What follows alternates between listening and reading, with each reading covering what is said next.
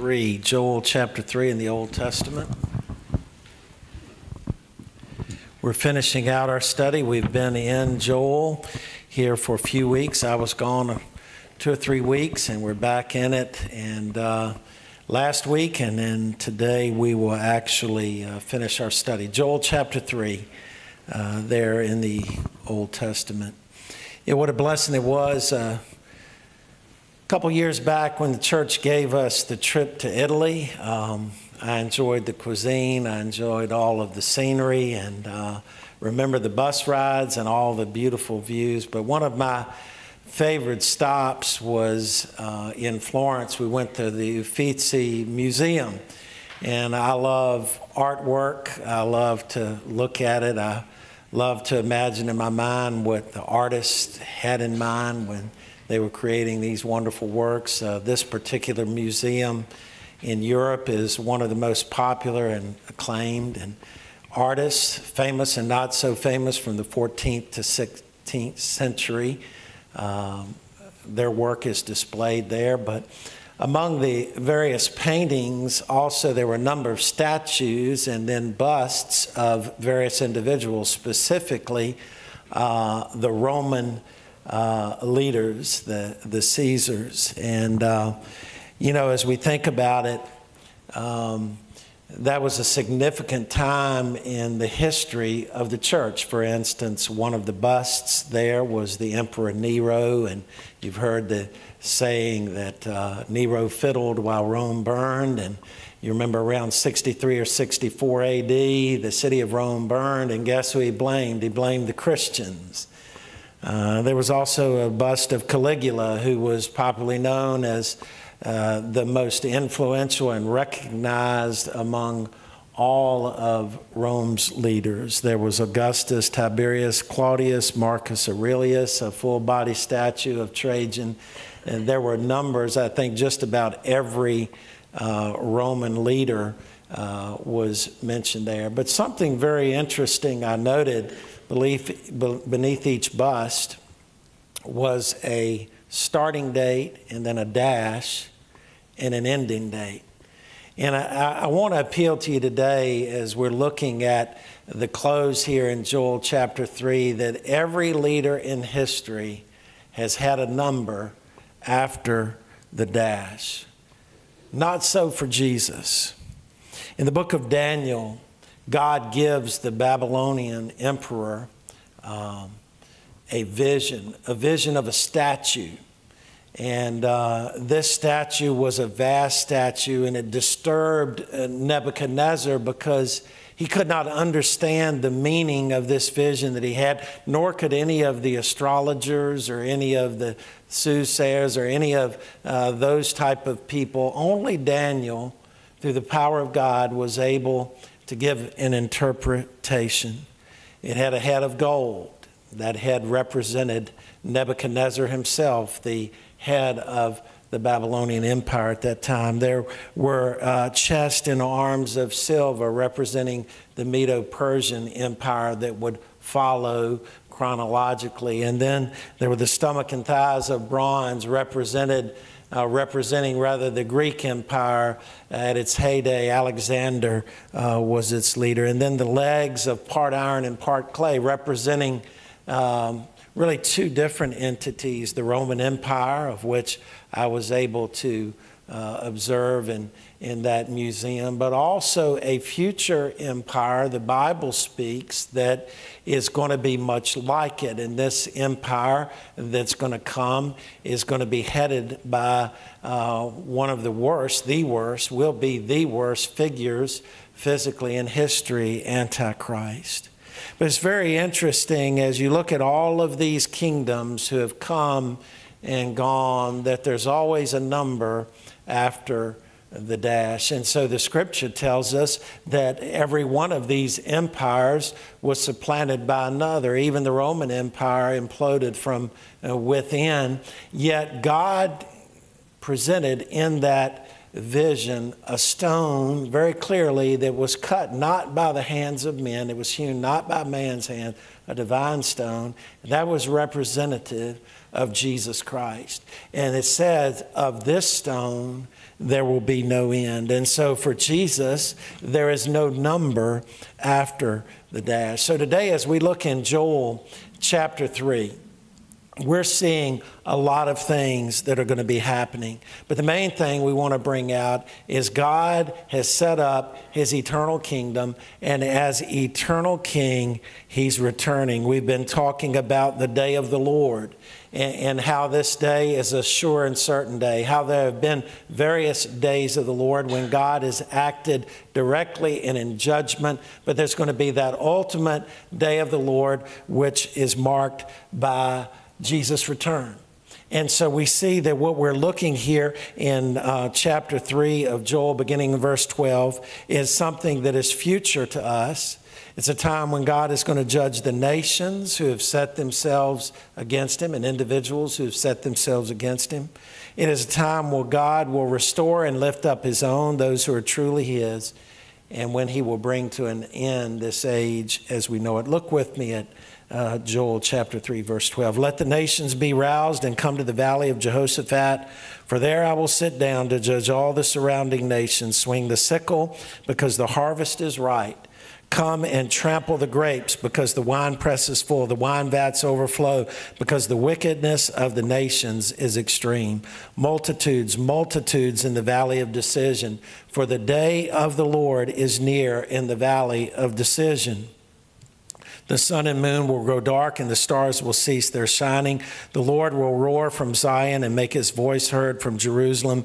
Heaven and earth will shake, but the Lord will be a refuge for his people, a stronghold for the Israelites. Then you will know that I am the Lord your God who dwells in Zion, my holy mountain. Jerusalem will be holy, and foreigners will never overrun it again. In that day, the mountains will drip with sweet wine, and the hills will flow with milk. All the streams of Judah will flow with water, and a spring will issue from the Lord's house, watering the valley of acacias. Egypt will become desolate, and Edom a desert wasteland because of the violence done to the people of Judah, in whose land they shed innocent blood. But Judah will be inhabited forever, and Jerusalem from generation to generation. I will pardon their blood guilt, which I have not pardoned, for the Lord dwells in Zion. Let's pray. Father, Thank you for your word today.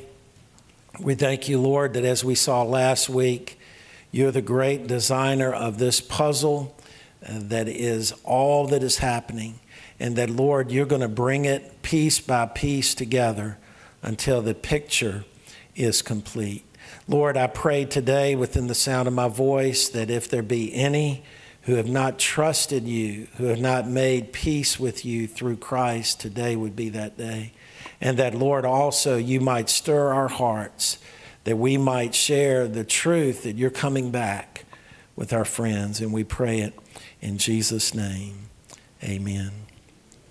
You know, today as we look at uh, this last message here in Joel, I want to divide our look really into two parts. First, we're going to see God's reaction uh, on this coming day. And second, we're going to see what results from this coming day. So, first, we're going to see what is actually happening in that day. And then, as we move to the last few verses, we're going to see the resultant state of that day. But as we talk about this day of the Lord, and again, it's important that we define the day of the Lord. It's not a day, it's not multiple days, it's a significant day, specifically in the context here, where God is going to return and establish his kingdom. And some will be ready and some will not. And so the question I have for you today first is this Are you ready should that day come? We need to be ready before and not after that time. And secondly, if you are ready, are you communicating the fact that He is coming back to others? First, I want to look at God's reaction to this coming day, and we see it in verses 12 through 16. This world, as we know it, is not heading around in a circle, it is heading in a historic line. There are no mulligans, there's no repeat of history, uh, there's none of this reincarnation. The Bible is very clear that history is headed in a direction, and it's headed toward a certain day. And throughout uh, the, our study in Joel, we have seen reference to this coming day. But not only here in Joel, we saw last week that Amos in chapter 5 and verse 18 warned individuals who thought they were ready for that day, said, You better be careful because that day will not be a day of light for you, but a day of darkness. There's some people that believe they'll be ready for that day,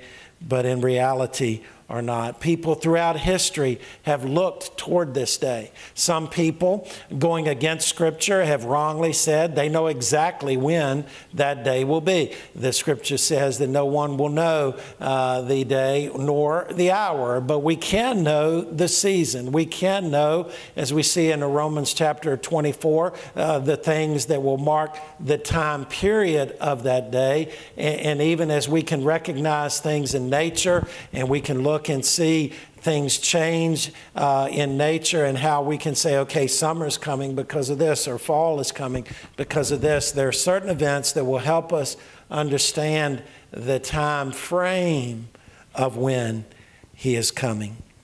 And so, you know, Jesus warned about this day. In fact, in um, Matthew chapter 25, as part of Jesus' Olivet discourse, those two chapters, Matthew 24 and 25, in chapter 25, he told the parable of 10 women, 10 virgins, who were waiting on the arrival of a bridegroom. And in this parable, Jesus said, Five were wise and five were not. Five came with an ample supply of oil, five did not. Well, you know, the, the groom did not come in a timely manner or how they thought in an expedient manner. There was a long delay, and so long that the five who were foolish did not have enough oil. And so they went to the five wise and they said, Will you share some of yours? And the five wise, they had to look out for themselves. They said, If we give you part of what we have, then, then we won't be ready and, and ours will go out. And so the five who were foolish had to go into town to purchase the oil. And while they were gone, the bridegroom arrived. Now, what do we learn from that? That on this coming day, there are going to be some who are ready and some who are not. I, I pray to the Lord today that you're ready. But, I, but we're also going to see as we're studying this that it's not just enough that we be ready, but we should desire that our neighbors be ready, that the, the person who cuts our hair is ready, that the person we see in town is ready, that we go to school with is ready. And, and so, as we've noted in, in these past two weeks, Joel's prophecy is primarily to nations. He, he's bringing and speaking judgment uh, to the nations who have set themselves against God. But we know in other parts of Scripture that this coming day will not just be a day of the accountability of nations, but individuals. After all, nations are made up of individuals. And so, God, as He speaks judgment, uses two figures of speech in that day uh, to represent the harvesting uh, of those who have set themselves against God.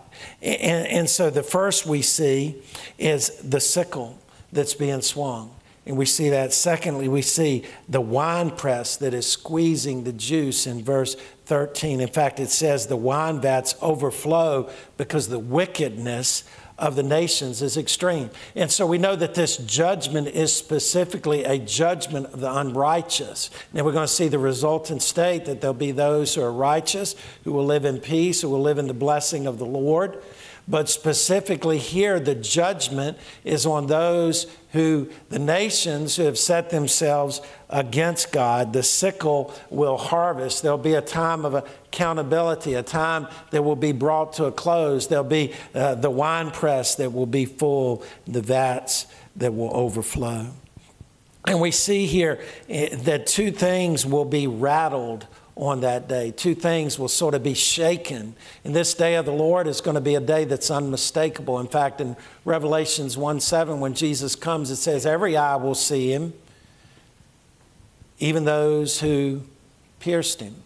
Now, the Jehovah's Witness, they'll try to say, well, Jesus has already came, come back. He, he came back in secret. That's false teaching. Because the scripture says clearly that when Jesus comes back from the eastern sky to the west, every person will see him. His, his coming is not going to be in secret, it's going to be a sure thing. And there'll be some cosmic disturbances. So, two things are going to be rattled. First, the creation around us. Look, the sun and moon will grow dark, and the stars will cease their shining. Now, this isn't just talking about an eclipse because the moon will eclipse the sun. This is talking about uh, a total darkness of the created order. The Lord will roar from Zion and make his voice heard from Jerusalem. That doesn't sound like it's in secret to me. It sounds like it, it is very boisterous. Heaven and earth will shake, but the Lord will be a refuge for his people, a stronghold for the Israelites. So the first thing we see here is that created order will be shaken. Look with me very quickly at Isaiah 24.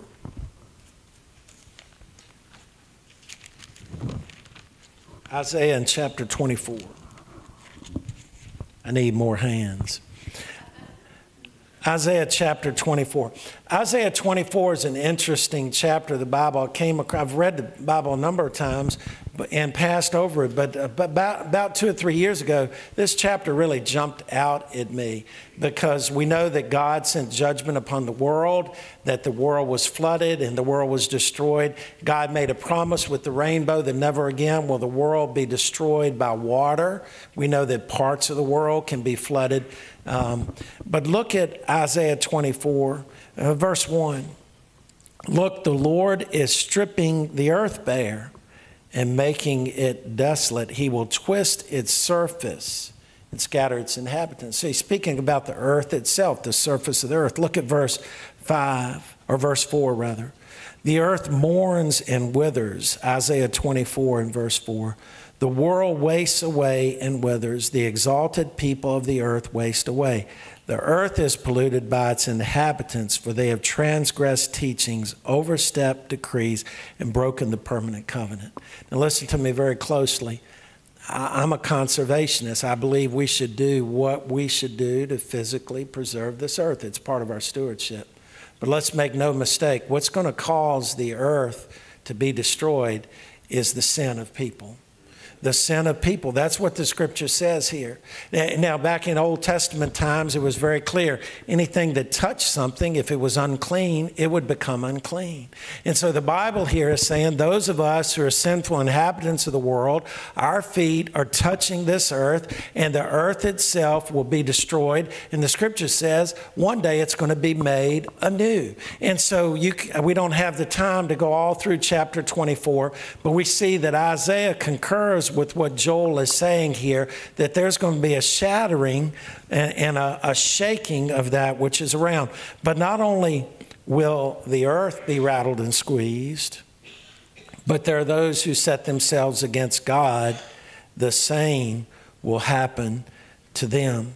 Many, many who have lived their lives in comfort to the neglect of God will be brought to account. It will be a, a, rude awakening, the swinging of the sickle, the, the pressing of the winepress, speaking to judgment being enforced against, the, against those who have lived their lives with no regard for the Lord.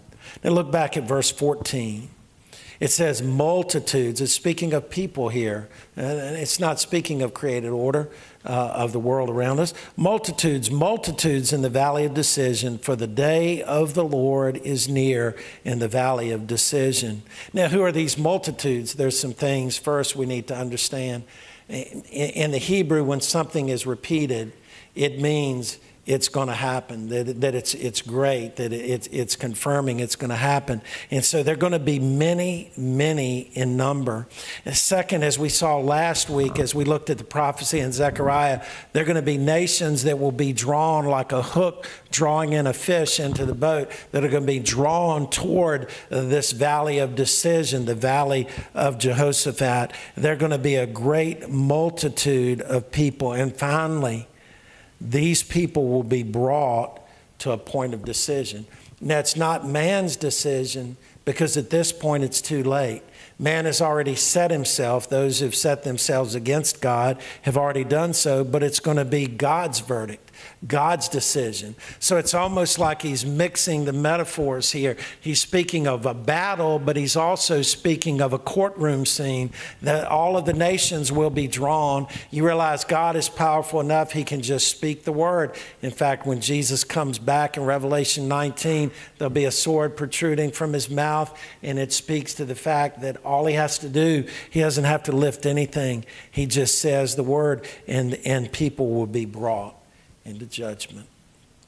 Oh, how you need to be ready before that day and how you need to do all you can to inform others to be ready. But let's look at the result of the coming day in verses 17 and 21, that settled state after the day.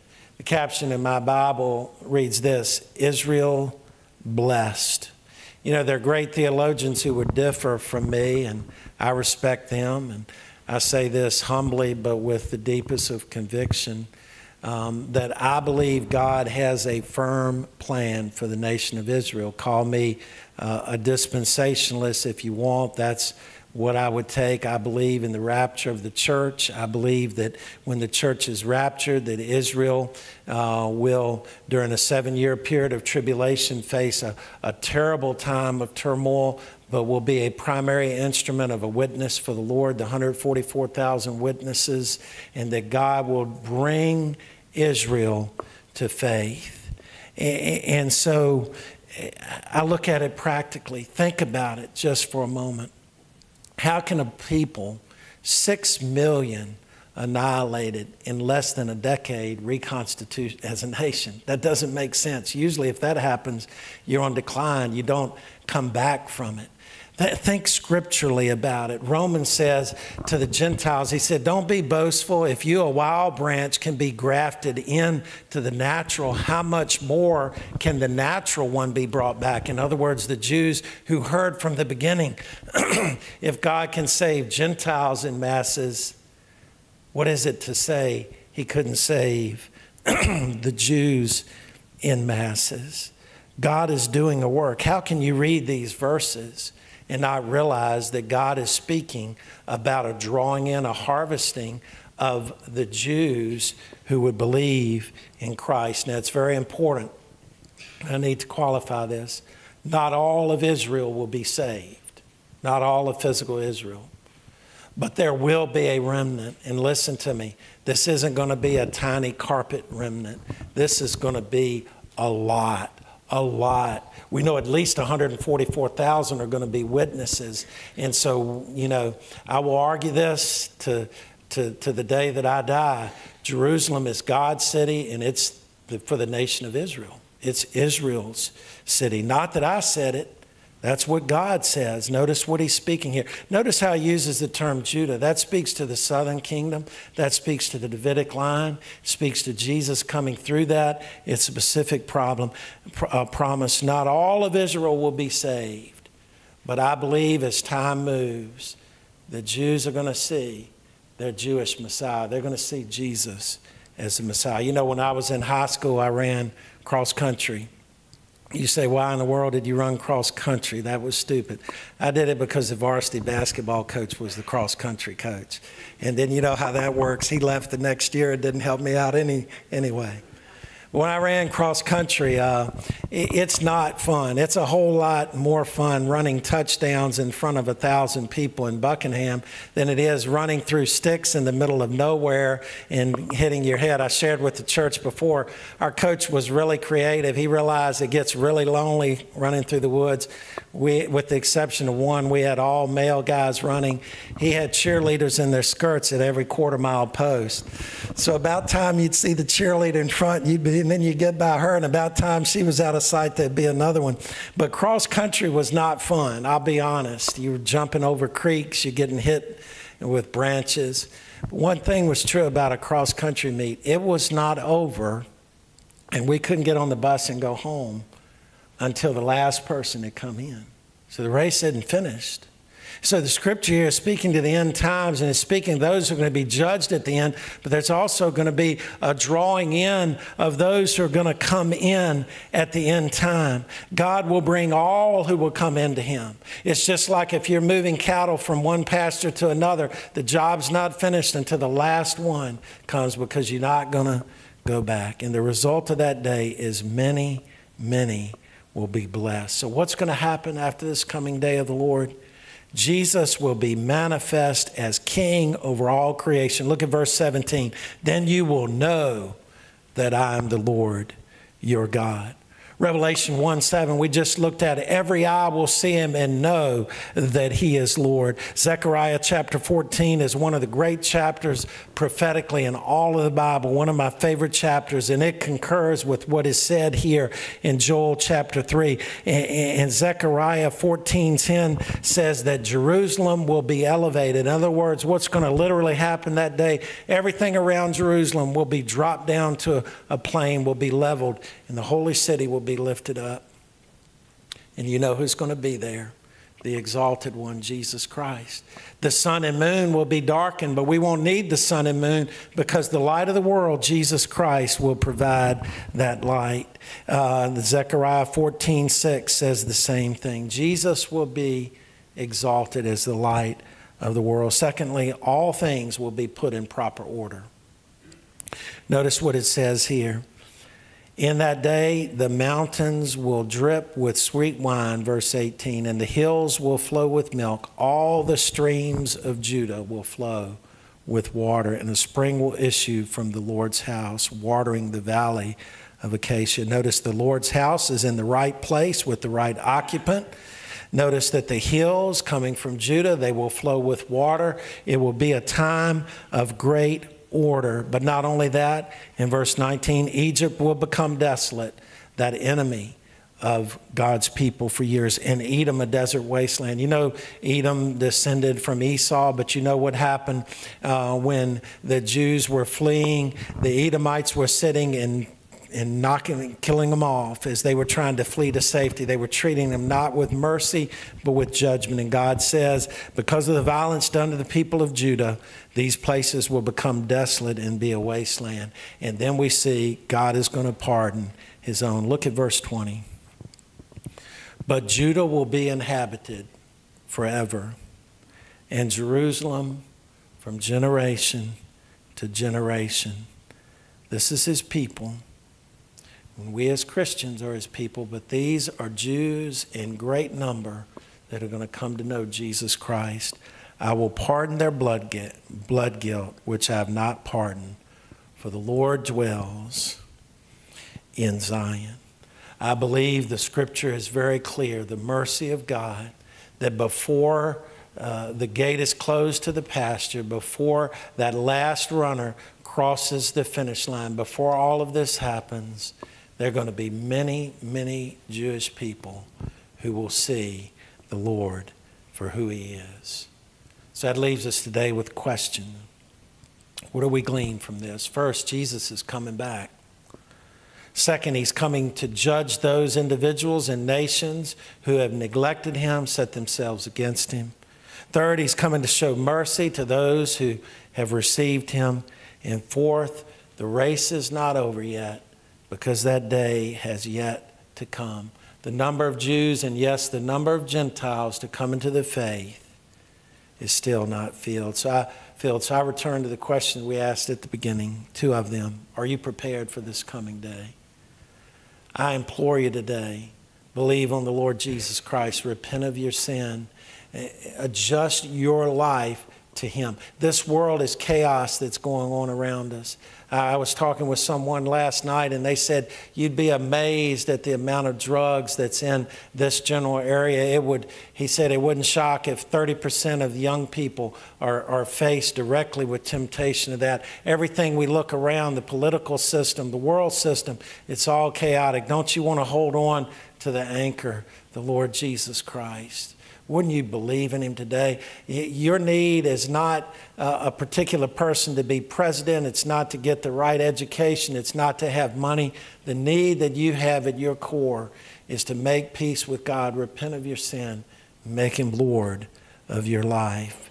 And so if you've not done that, today is the day. But if you've done this, are you helping others prepare for his coming? Wouldn't it be selfish to not? You know, from time to time when I'm working in my yard, somebody will stop by. I'm right at the corner. And I know why they're stopping. They're not stopping to say, "Boy, you, you're a good-looking guy." They're not.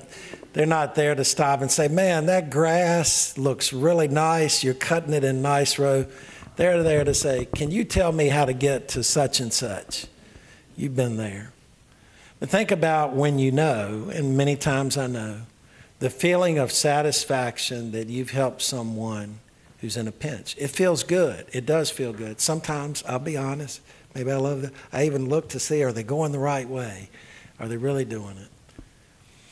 But yet, many times in our lives, we have the truth of the gospel and we clam up.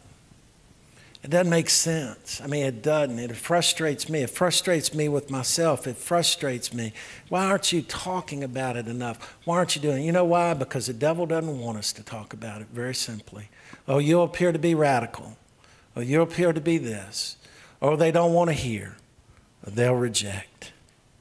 They're spiritual battles. We got to take people. We got to take people with us. I don't know how that is to you. You may say, I'm not good with words. Hey, Moses wasn't good with words, and look what God did with him.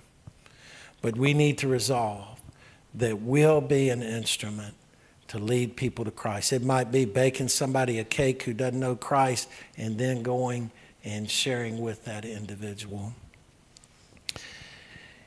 You know, when I was a child, and I close with this, um, I, had a blessing. Um, my dad loved the Lord, loved to see people come to know the Lord, and we had an evangelistic crusade come to Appomattox. Now, how many of you have ever been to a drive-in movie? Raise your hand. All right, most everybody. Very few younger, but some. That's a novelty, isn't it? How many have been to a tractor pull? A lot of people have been to tractor pulls. All right, used to be a lot of them. We have something coming that doesn't happen every day. In fact, it doesn't happen very much in the state of Virginia at all, an evangelistic crusade. It's not a revival. It's not a, even a, a prayer meeting. It's not a tent revival. The whole purpose is that people would bring people to come hear the gospel shared so that they could be saved. Now, if you're a Christian, God will have a message. Anytime God's word is open, it'll speak to you. There'll be people that are rededicating. But I remember being at the old Appomattox County football stadium, the middle school, a thousand people in cars riding by, and then seeing droves of people believe on the Lord Jesus Christ. But guess what? The only way that happened was people bringing people. There are a lot of signs you're going to see around. Go tell crusade. I've never seen a sign uh, speak to somebody about Christ. Now, God can use signs, but primarily, He's going to use people inviting people. If you know Jesus today, there's some bookmarks. Eric's got some, I think, in the back. If I can find mine, here it is right here. It's a simple bookmark. You can use it. It's Go Tell America a simple plan to reach out to those who need Jesus. On the back, you'll see a list of five numbers. You can pray for five people, but specifically praying either one or two or three or four or five or more. God, put it on my heart to pray for this person, and may that person come to hear the gospel. May they come to hear the gospel. September 29th through October 2nd, Sunday through Wednesday night, a little over a month away, every night there are going to be hopefully a thousand to two thousand people that are gathering specifically to hear the old time gospel be preached to a new generation. And would you be there, but more than that, would you be praying that you would invite somebody? The resource you have, we'll be sure when you leave today that you'll have it each one reach one. What would it be like if somebody came and, and uh, stopped by at the corner there and said, Will you show me? And I knew where and said, Well, I'm too busy, go on. They wouldn't think very much of me. We have the gospel. We need to communicate it. Let's be in prayer about it. Let's pray. Father, we thank you today that you have a plan, and that plan is unfolding even as I speak, even as we leave this place. And that plan is that you're going to bring this world as we know it to an end, the day of the Lord. And for those who are ready before that day, there's going to be great rejoicing. For those who are not ready, stands judgment and separation, we know in a place called hell. Lord, uh, many of our neighbors, many of our friends, many of our coworkers, our fellow students, they don't know you.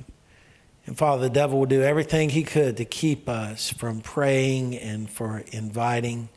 Lord, I pray you would invite. I pray you would bless this effort in our community as we seek to reach people with the gospel of Jesus Christ. I pray for the speaker, Rick Gage, and I pray as we look in the book of Jonah in the weeks ahead leading up to this, that you would stir our hearts, that we would care about people enough to share Christ, to do ministry. And Father, we pray it in Jesus' name. Amen.